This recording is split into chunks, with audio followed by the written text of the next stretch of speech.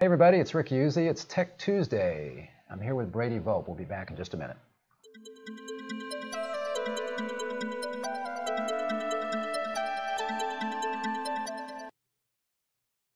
Hi folks, welcome to Tech Tuesday. Again, this is Rick Yuzzi, and I am here with Brady Volpe, and today we're going to be talking about uh, PNM, and specifically our pre-equalization analyzer product and uh, intermittent modems and how that can help you find ingress. Uh, while we're talking, you can uh, chat with us on YouTube. Let us know that you're watching, or if you've got any questions, uh, we'll be happy to take those. We may be able to see them as we're we're going to be presenting something, some screens. So we may not see it while you're asking a question, but we'll certainly try to uh, go ahead and cover those at the end. We'll take a look if you've got any questions about this. So if you're joining us live, obviously, if you're not joining us live and you're watching this recorded, still go ahead and leave a question, and we'll I'll get that and we'll answer that later for you. So again, I'm here with Brady Volpe, the man, the legend, Brady Volpe. Um, Thanks for having me, Rick. uh, you're welcome. And I'm telling you, this this guy, you know, I don't I don't get out much, but um, you know, we have we go to trade shows, and a lot of times we'll be at the same trade shows with Brady.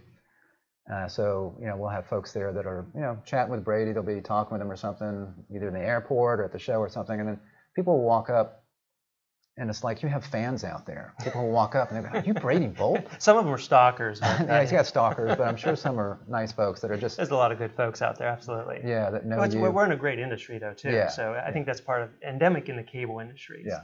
A lot of good people, small industry, and, Yeah. and we tend to all know each other. So Yeah. that makes it that makes it nice. Yeah, Brady, you know, he, he speaks at a lot of trade shows. Again, industry expert on uh, cable, uh, DOCSIS, PNM, and then also you've got your own video podcast that you do about once a month. So, yeah, uh, the so- Firm on, uh, Yeah. on on YouTube. So uh, definitely check that out if you have not already. yeah. So uh, again, happy to have Brady here, Yeah. and again, happy to be talking about pre-equalization analyzer and intermittent modems. So um, I'll go ahead and bring up. We're going to show you a, flu, a few uh, slides here as we go through this on on what this is. So. Um, first off, for those of you that are pre-equalization analyzer users, um, you should recognize this. This is your main dashboard, and uh, there's a couple of ways that you can get to view an intermittent modem, uh, and I'll have Brady explain in a minute what that is, maybe as we see a an actual Yeah, chart. we, we like intermittent modems because we, we call them golden nuggets. So there's there's a lot of value in finding them. We'll, oh, good. We're going to focus on that. Okay. So uh, you can go to the dashboard here, and um, when you pull up a detail view, as you know, you'll get a map of a particular CMTS that you might select.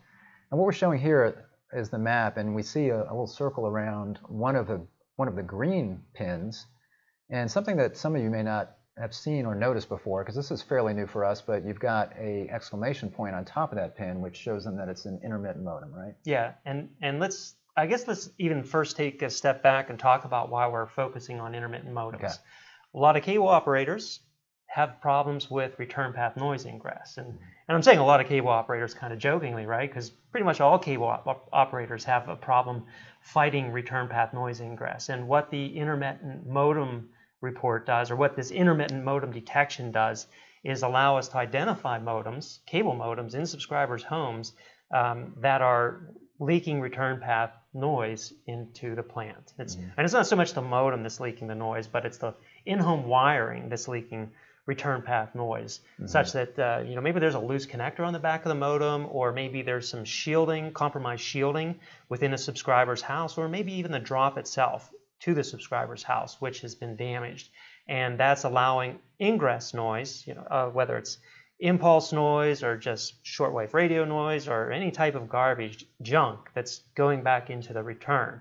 And so this, uh, what Rick is showing here on the screen, this modem with an exclamation point on it, even though it's a green modem, which you know normally we assume to be a healthy modem, um, that particular modem, what we're saying by this, kind of what we're going to walk through here in this presentation, is a modem that we have a extraordinarily high confidence factor is allowing noise into the return plant.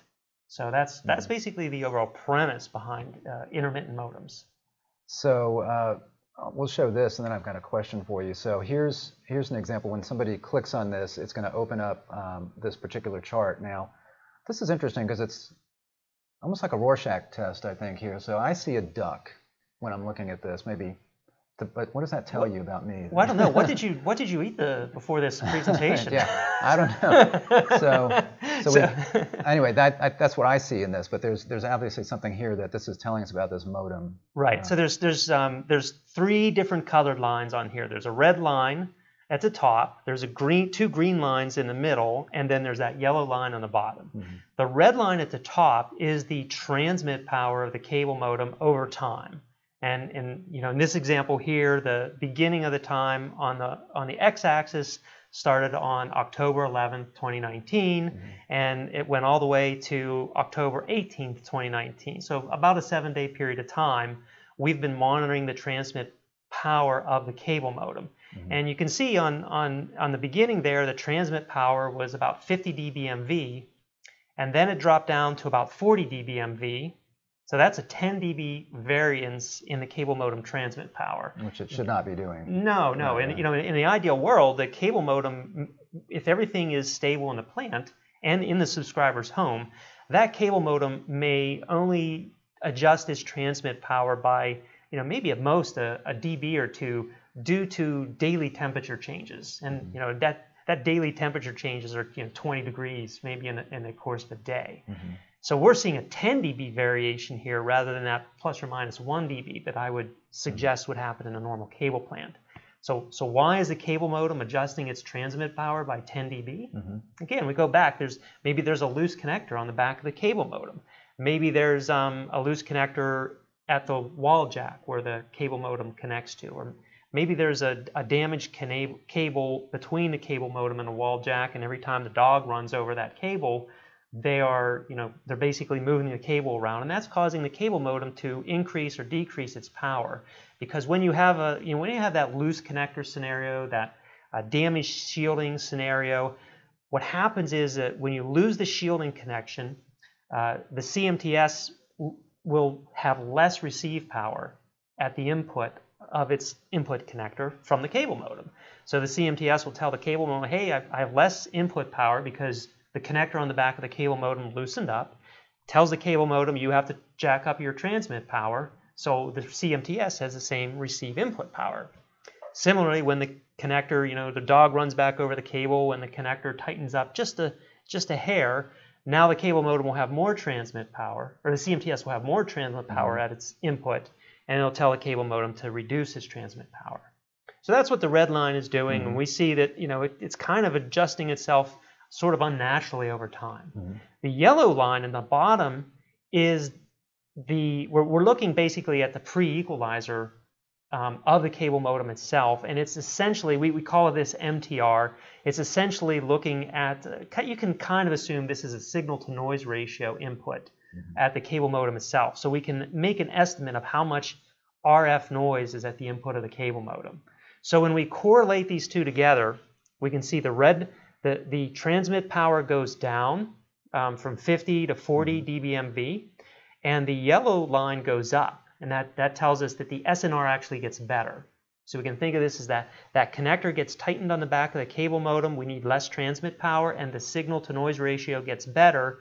That gives us a positive correlation that we, we believe this cable modem has less noise when the connection gets tighter. And then we get that green line. The green line is just telling us we got a positive correlation that we think the connection's getting better and the noise is getting better. And, and so that's how we're kind of making that indication there. So MTR is that its main tap ratio? Is that right? Is that Uh, it's it's actually a, a CableLabs um, made up. Um, uh, it's not an acronym. It's a uh, as Ron Ron Hranac would say, it's a uh, uh, uh, not a cinnamon, cinnamon uh, a, a initialism. Okay. Um, and, and it's it really really correlates to all of the energy in every tap but the main tap. So- So, what happens is once you get a bunch of noise coming into the Mhm. input of the cable modem, these main these non-main taps, Right. everything but the non-main taps start to jump around a bit. So as you're as you're so you got your main tap eight, right? Yes. So as you've got your other taps, the ratio I guess changes where you've got a lot more energy going through those other taps. So Correct. that's basically showing you that the modem is having to compensate more for uh, an impairment. For impairment and also for noise that's, noise. in, in the input of that Right. cable modem. Yeah. So um, this is um, this test is based on a CableLabs um, best practices. Mm-hmm. Um, so it is it's something that we've built on top of that and, and built into the Nimble This PNM application, mm-hmm. which um, of course you guys as our good partners also mm-hmm. um, provide to your your customers as well. Mm-hmm. Okay.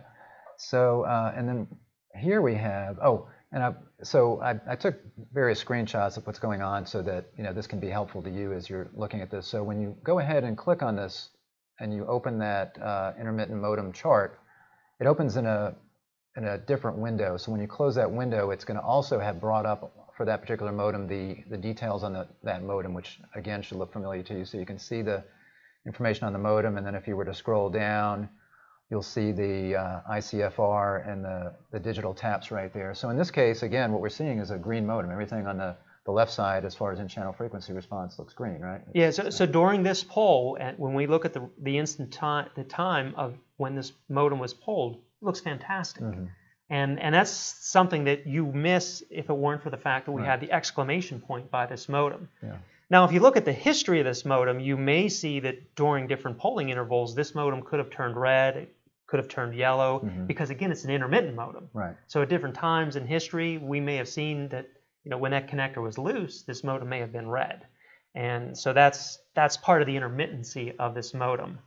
Um, we've also seen with some of these now that in in um, future iterations we've been looking at the downstream also, mm-hmm. and we see that the downstream levels for these intermittent modems also jump around pretty substantially as mm-hmm. well. And you'll see that in upcoming releases of our software, mm-hmm. that we can correlate the upstream and downstream jumping around at the same time on intermittent modems. Mm-hmm. Okay. And then uh, again, you can see here's another pin. In this case, it's yellow. And we pull that up, and that is a shark to me. Yeah. I'm not sure if that's I'm not sure if that's baby shark or mama shark. Yeah, you know, actually, it also looks like the top of the United States as well, maybe a little right. bit. Yeah. I could, I could see that. Okay. Um, what did you have for lunch? All right. So in this case, again, we're seeing uh, we're seeing now. This is interesting. So I have a question for you here. So we see the green line, which is telling us that hey, you've definitely got a correlation right, right. in this spot. But I'm also seeing, to me, what looks like you know, on the left side, it looks like things are kind of moving in opposite directions in a similar way. So is it that uh, the green line is just hitting a certain threshold and it's then identifying a correlation? So we need at least three data points of to, to form a correlation. Mm-hmm. So obviously on the left-hand side, I can see there's it looks like that's a good correlation with between the the the red line, which again is the cable modem transmit power, and the yellow line, which is identifying noise at the input of the cable modem. Mm-hmm. But I don't, uh, you know, our algorithm didn't get enough data points looking back mm-hmm. far enough to the left in history. So we weren't comfortable drawing that green line there, that mm-hmm. correlation line. Um, and the same on the on the far right hand side, where mm-hmm. it looks like it's starting to correlate together, but our algorithm just didn't have enough history there mm-hmm. or future history to draw the green correlation line. We just had enough history in the middle mm-hmm. to draw that green correlation line. And so we only we only show modems um, with the exclamation point, and later I know you'll show the intermittent modem uh, report. But we only we only tag modems with that green line and and produce those in the, on the map with the exclamation point and in an intermittent modem report if we're able to draw a clear correlation. So it's the worst cases. Yeah, it's yeah. and that and that way we're not falsely reporting modems yeah. that you know maybe they just had one data point. You know, mm-hmm. maybe there was a maintenance window, you just had that one data point and it shows up. We need we need more data yeah. points. In this case, it has to be at least three data points. Yeah, nice. I mean, it's nice though that you can see it visually because you can look and you go, even though it's not green all the way across, you can see that it's correlated in some sense just visually, right? Correct. Yeah, yeah. and the human eye can always make those final yeah. final uh, decisions of well, yeah, the the algorithm said it correlated, but boy, when I look at this with my eye, I sure can see even more correlation mm-hmm. that this is definitely an intermittent modem and likely leaking noise into my return path. So now you said something earlier, which I think I, I didn't understand until you said it. So the intermittent part of it, I was th- I was thinking that was intermittent from the perspective of maybe the noise is intermittent, like impulse noise or something like that. But it's it's not that. It's that the uh, the conditions on the plant or on the on the uh, connector or whatever it is are changing. No, we, yeah, we're we're trying to isolate modems that are in subscribers' homes that are absolutely uh, letting return path noise into the into the plant. So you so it's not it's not issues in the outside plant. Okay. These are these are issues in subscribers' homes where it's either the drop cable or cabling and wiring in the inside home that's allowing ingress noise into the return path. And remember, 80 to 90% of ingress noise is coming from subscribers' homes. Mm-hmm. You're not going to fix this by going out and, and doing outside plant work, right. like you know tightening connectors or replacing connectors. That, that's only 10 to 20% of your return path noise. Mm-hmm. The majority of your noise, you're going to have to visit individual subscribers' homes, look at their drops, look at the cabling on the outside, fix bad connectors, fix bad drops, and then, if necessary, enter the subscriber's home and fix bad connectors, fix mm-hmm. bad drops, tighten loose connectors. Right. So, uh, does it actually, if if the amount of noise in the home goes up, if somebody turns on a vacuum cleaner or something that might introduce noise in the plant, does that actually impact this, or is it just that the connector is open and it doesn't matter whether the noise is coming in? It could impact this slightly, but it, it really depends on when you pull the modem or not. And a lot of things that inject ingress into from subscribers' homes um, could be things like vacuum cleaners, hair dryers, and things like that, which can be very short-term use.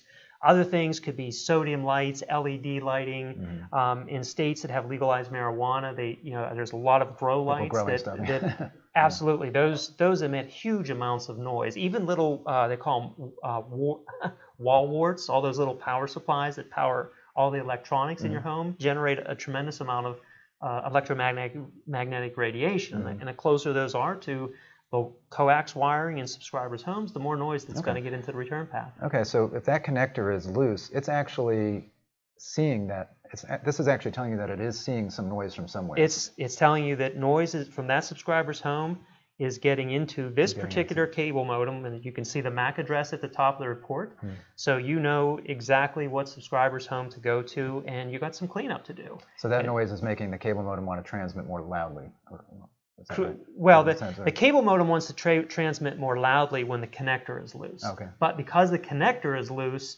um, when you get that green correlation line, you, that's telling you that in addition to the connector being loose and causing the cable modem to transmit more loudly, we're also getting ingress noise. All right, so, so that, there's two parts got to that. It. So the yellow line is showing you that the actual noise Correct. you're getting there. Because we do get modems that have a loose connector and transmit higher and lower, which is the red line. Mm-hmm. But you don't always get that correlation. That right. you know maybe maybe the scenario is that as such that you do not have as much ingress noise coming from a home with a loose connector as a, as a different home that has a lot of that's growing pot. Yeah, exactly. okay, okay. Yeah, they have gotcha. they've got a lot of grow lights going yeah, on. so we're we're focused on those homes that are generating noise. Okay.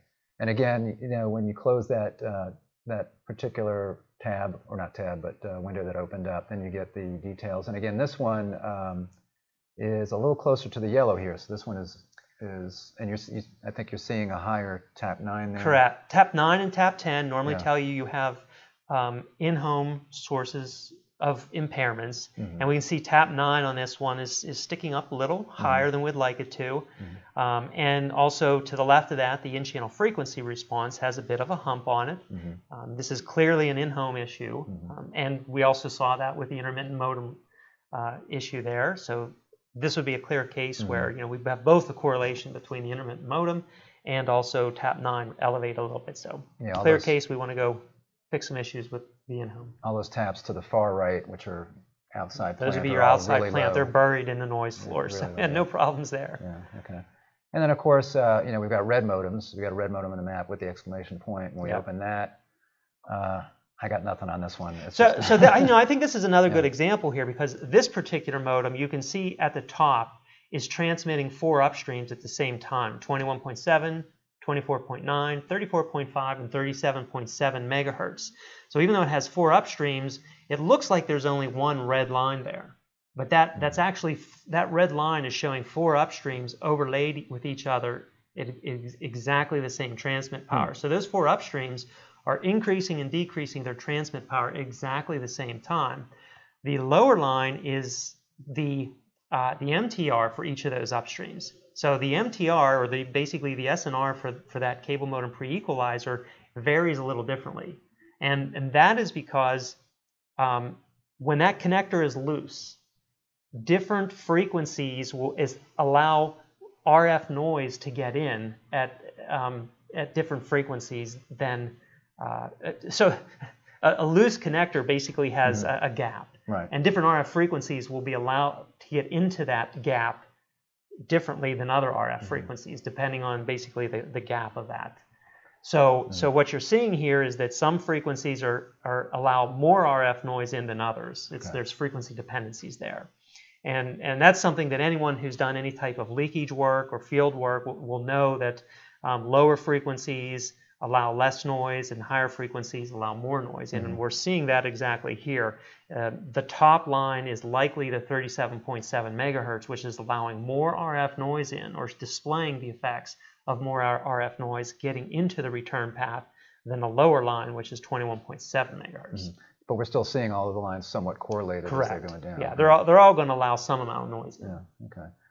Um, and then as we look at that, so here we're seeing, again, if you look at this modem and the different frequencies, one looks really good. and- Right. And the others, So this goes back to what I was saying about Yeah. the frequency dependencies before, Mhm. and we see this a lot when we use proactive network maintenance (PNM), Mhm. where some frequencies are much more dramatically impacted than others. In this case, the 37.7 um, megahertz upstream is the most severely impacted on this, and the 34.5. So normally, the higher in frequency you go, those frequencies are going to be more impacted than the lower frequencies due to an intermittent type connection.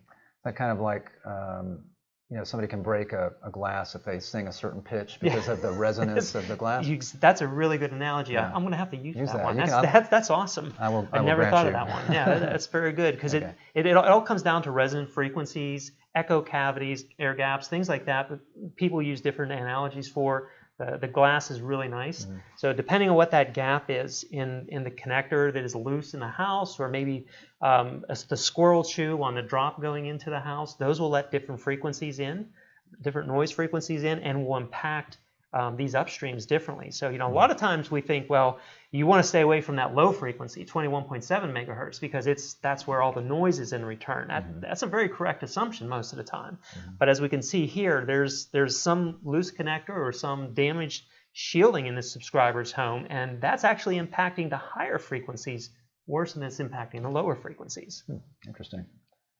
And then again, we see uh, the charts here, and we've got, we've got the same kind of thing. We can see one looks pretty good, and the others not so much. So, so you know, basically a, a loose connector or a, a damaged piece of coax, that squirrel chew on the coax, um, or the, the coax that the dog has been chewing on, um, it's not impacting the lower frequency nearly as much as it's impacting the higher frequencies. And, and we can clearly see that the, the lower frequency is pretty flat, the higher frequencies get much worse. We can see the frequency dependent um, dependencies that are that are happening here, um, where higher frequencies get Mhm. impacted worse, and that's something to be cognizant about when you see this. This this makes it easier to to determine that this is likely. You know, if you see this even without the intermittent, this makes it more uh, easy to determine that this is likely an in-home problem, likely due to loose connectors, bad connectors, or damaged coax. Because of the fact that it's some look worse than others. Is that Yeah, but it will be the, the fact that higher frequencies are impacted Oh, than lower frequencies. frequencies. Got it. Okay.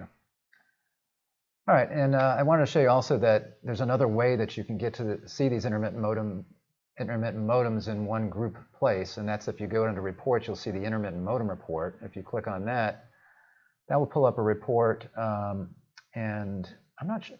Do you know how this is the default sorting of this? I meant to ask you that.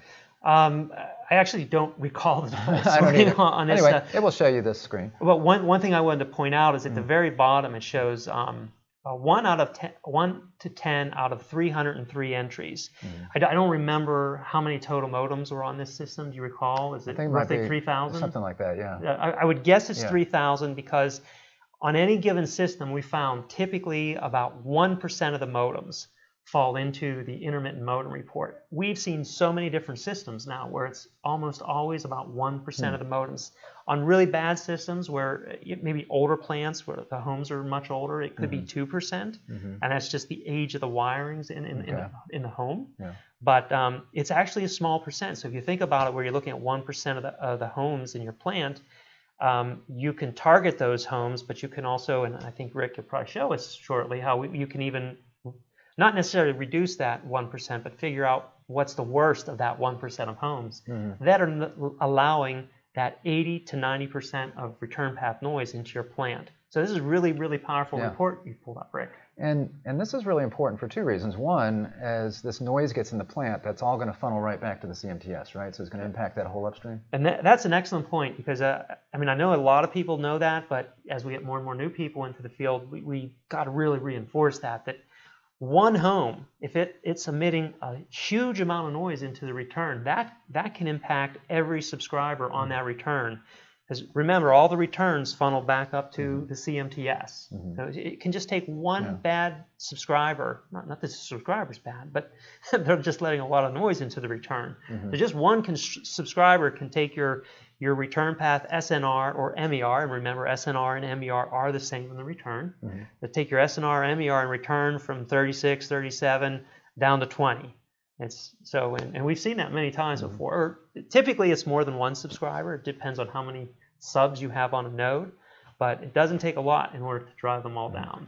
Now, what about egress? Does that matter as much in the home? Because I know you, if you've got noise leaking in, then you can have noise leaking, or you can have signal leaking out, and that would be a problem, obviously, for the FCC. They've got to keep on top of that. Does it matter so much in the home? Well, every point of egress is a, is a point where we're allowing more energy out. And when it comes to the FCC, it really depends on where that leaky home is Mm-hmm. and how much ingress is coming out. If you're right by a cell tower or you're right beside maybe a radio station or a, a, Mm. a building that may care about it, uh, you know, maybe if you're in Maryland and your house is really close to the NSA, Yeah. uh, that Yeah. could be a real problem for Yeah, you. If yeah. you're out in the country someplace, and it's like a, if a tree that falls in the woods, is anyone and no one's around? Did, there- did anyone is hear there it? egress? Yeah. Yeah. so, Okay, all right. So uh, on this report, again, this is just as, you, as I pull it up here. So uh, you know what you do is you click on that one of those charts on the right whichever modem you want to look at, and it's going to pull up again similar kinds of things. So we're seeing something very core again up and down here. Visually, you can see it, and then we Yeah, we don't want to see this. We don't want Yeah. to see this at all in the network because this is typical case of a bad modem that's or bad bad cabling that's allowing noise into the Yeah. return. And I just clicked on a few different examples. Here's another one where it's, it's interesting because, you know, it looks flat a lot of the time, but then there's this one big change. So Yeah. what's, what, what's accounting for that? And I, I mean, these sometimes you you really have to know is is this because the um, the the subscriber may have been just jiggling the modem around and it happened just once. Um, that's why there's a forward and back arrow on this because you can look back in history a little bit. Uh, but this could be totally legit. This could be just a loose connector and you know the wind blew or someone just stepped on the cable and that caused it to go. Because you can also see then further out to the right it stepped up Start, another yeah. 5 dB and I, I'll tell you that looks like it's right at 54 dBmV. That's probably max transmit power for that modem. Mhm. Um, so that's that's very possible on that. Uh, something again here, just interesting. I don't know if there's anything specific about this, but we see again a big correlation in two spots. Yeah, and, it, and it's a pretty big jump. I, I mm-hmm. mean, not not only those two two spots, but you see other subtleties in, in mm-hmm. other areas. But with that with that big jump from it looks like about 34, 32 up to 44 or so deep. So mm-hmm. it's I mean more than a 10 dB jump, but you, you see a really huge decrease in the SNR of the modem mm-hmm. from about 27 down to about 17 or 18 mm-hmm. dB Yeah. on the modem. So mm-hmm. pretty substantial decrease or in uh, in the SNR, which means that's a pretty substantial amount of noise that's going to be allowed into the plant for this modem. So again, I was just clicking on the charts to the right, and you can see all of these Yeah. showing issues that, that can be addressed. Now, um, and this was this was an interesting one. Yeah, so this modem here, I mean, if you see something like this, there's only two data points that came up on this modem. This may be a modem that is was just intermittently came online and then went offline, or maybe it was placed on service, in service um, on on the day, and we only got two data points on it. So it's difficult to know without knowing more about this subscriber. So this would just be one to watch for later. Yeah. And then uh, something I showed here is that we can click on standard deviation and sort by that. And Yeah, that's so- where we're going from. You can see there are different numbers here in that column, and then when I after I sort, we've got the highest.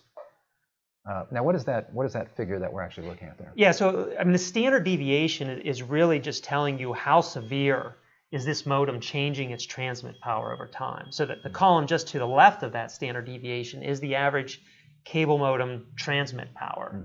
The standard deviation is then we're taking that transmit power over that seven day interval and saying, you know, is this modem changing its transmit power just a little bit, or is it changing it a lot? So we, when you see a standard deviation of 18, we're saying over seven days that cable modem's changing its transmit power an awful lot. Mm-hmm. And if you do the reverse sort, you may see standard deviations of like 0.1 or 1, and that's just saying over time that cable modem is only changing its transmit power by just a little bit. Mm-hmm. So what you've done here is you said, show me the cable modems that are changing their, their transmit power by a lot. Mm-hmm.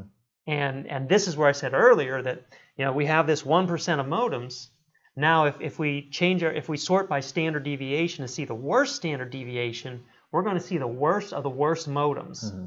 whenever we look at that very top modem. And, mm-hmm. and this lets us say, okay, you know, I've got 320, 303 modems here that are showing up on this report. W- which one should I go look at first? So you can look at the worst stand- standard mm-hmm. deviation first, yeah. and we're going to see some pretty bad modems here. So yeah, I think uh, I don't know if I took them in order, but I just clicked a few of the charts uh, yep. to the right there. So here we're seeing so, so this is kind of a great yeah. case here. Yeah. What, what this is showing us is this modem, it actually wasn't changing a lot at right. first. It was changing a little bit, and we did have a correlation there in the center, mm-hmm. but uh, something happened and the modem went offline. Mm-hmm.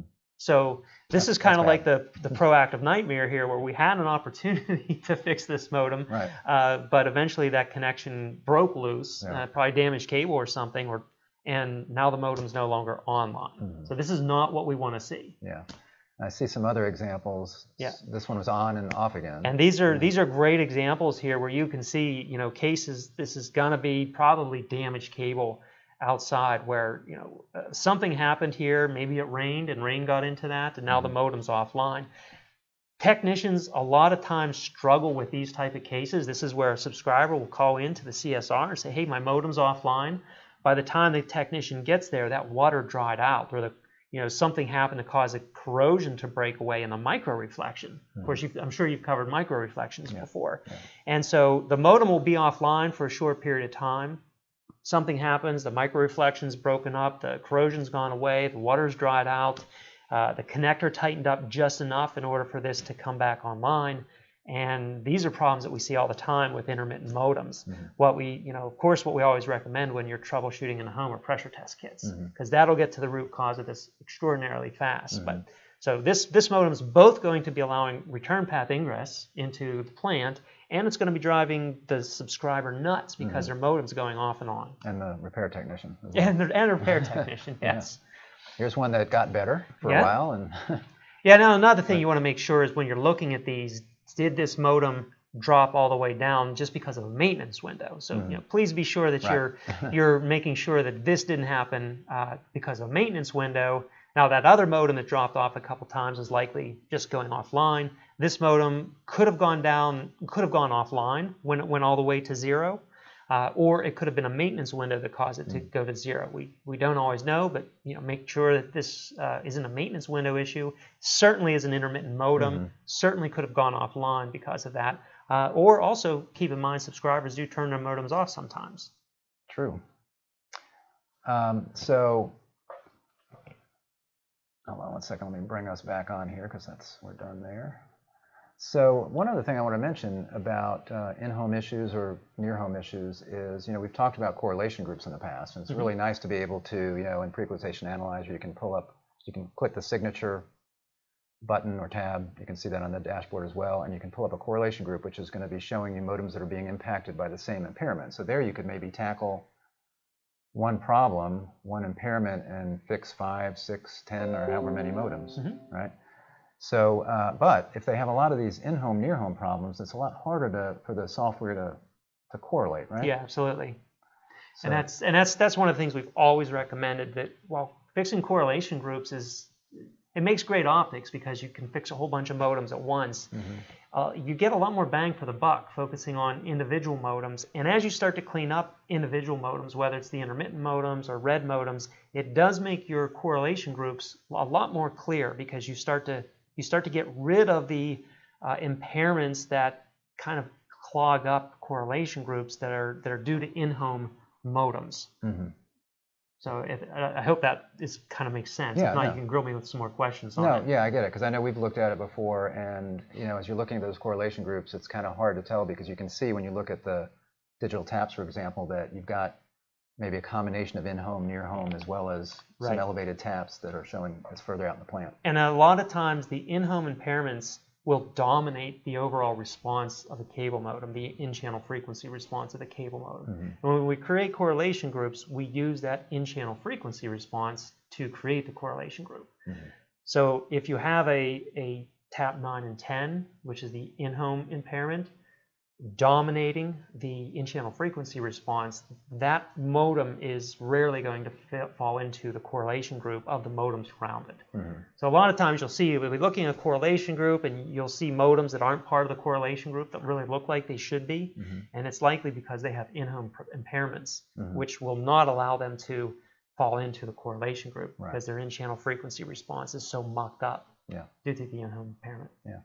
So this is great, Brady. It's, it's a fantastic tool for folks to be able to go find those problems that, like you said, are, you know, eight or nine out of ten of the issues that they're going to have in the cable plant are going to be in home, in home and near home. And this gives you a way to target those, and really specifically to target those modems that are letting noise in the plant, which again can be a problem, uh, not just for that subscriber, but for everybody else, depending on how noisy they are. So this has been very educational. I don't think we had one question that somebody took retracted. So um, yeah, Gary, I don't know why you're tracking yeah, your message. come on. I'm sure was a great question. We didn't get a chance to see it, Yeah. but if again, if you have uh, if you have a question, if you're watching this recorded, not live, uh, just go ahead and drop us a, a message on the video, and uh, I'll get that answered for you. I may have to call Brady if it's really technical, uh, but we'll get that answered for you. So thanks for your time today. This has been great. Hey, it was a Uh, pleasure. Thanks for having me. Be sure to hit their subscribe button on the you. YouTube Yeah. channel. Hit the notification bell, and uh, also follow me on Volpe Firm on YouTube. Volpe Firm. some, uh,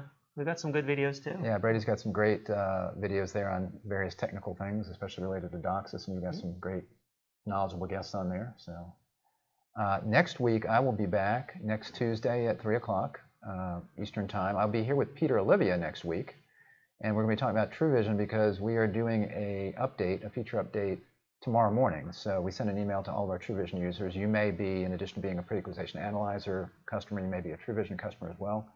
And um, Peter and I are also going to be talking next week about the update. We're going to demonstrate some of the new features in there. So that'll be good for you to check out. If you're not a customer of either of these products and are interested in them, go to our website, zcorum.com, and uh, just see what we have to offer. If you're in the cable industry, we've got some great tools, including pre-equalization analyzer, which again, uh, Brady is the you know, kind of the development uh, genius behind that at Nimble This. So Sign up. We need to eat, guys. yeah, that's right.